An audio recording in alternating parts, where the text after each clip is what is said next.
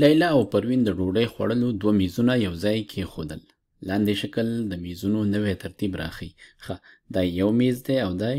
بل میز دی. دوه میزونه یو ځای کړي دي، کېدای شي ډېر مېلمانه به ورکره راځي، ځکه یې دواړه یو ځای کړي دي. ښه، موږ ته وایي چې د نوي شکل محیط څومره دی. ښه، محیط څه شی دی؟ محیط د یو شکل دغه باندنۍ پوله یا کرښه چې د دې نه ګرد چاپېره تاویږي دا محیط دی دا ټوله فاصله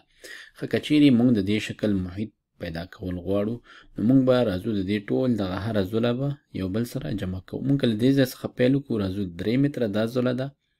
یو متر دا دی دلته ګورو چې دلته اوس زوله نشته را سره دا دوړه شته بیا دا زوله هم را سره نشته دا هم نشته دا هم نشته نو په دې حالت کې موږ نشو کولی چې د دغه شکل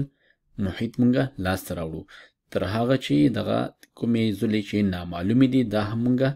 معلوم کو اوږدوالی په لاس راوړو نو مونږ شکلونو ته چې ګورو دا مستطیلونه دي نو مونږ کولی شو چې د مستطیل د مقابلو زلو اوږدوالی د یو یو له بل څخه پیدا کړو دلته مونږ لرو چې د دې زلې اوږدوالی یو متر دی نو د دې مقابل دا به هم یو متر وي همدارنګه دا زله مونږ سره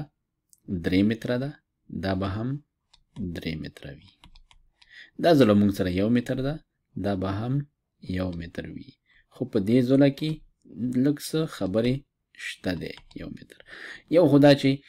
دغه برخه د دې زلې د دې مستطیل دا په بهر باندنی محیط کې نه حسابېږي مونږ چې کله د دې محیط معلومو نو دغه زله پکې نه حسابو یوه دویمه خبره دا ده چې دا مونږ سره نوره مرسته هم کوي ځکه مونږ سره د دې زود برخې د دې زولې او د دې زولې اوږدوالی نشته دی نو چې کله مونږ دا پیدا کوو دا به مونږ له دې زولې څخه پیدا کوو نو دا ټوله زوله درې متره ده نو په دې پوهېږو چې دې ځای نه دې سره پورې دا زوله هم ټوله درې متره ده اوس دا برخه څومره ده دا برخه څومره ده دا به مونږ داسې معلومو چې ټوله چې درې متره وي او درېو کې دغه یو متر ترې نه کم شي نو مونږ لیکو چې درې منفي یو دا مونږ سره پاتې کېږي دوه متره اوس دوه متره د دغه فاصله جمع دا فاصله ده مونږ نه پوهیږو چې دا به مساوي وي کنه خو مونږ یې اټکلي لیکو چې یو متر دا او یو متر دا ځکه دواړه چې سره بیرته جمع شي دوه متره راکوي نو یوه خبره ده نو اوس مونږ سره ټولې زولې شته دی دا زوله پکې نه حسابیږي محیط کې باقي ټولې زولې چې دي هغه به مونږ اوس حسابو نو مونږ لیکو دې ځای نه پیل کوو چې لیکو یو متر یو جمعی دا درې متره جمعی دا زوله یو جمعی دا یو جمعی درې جمعی یو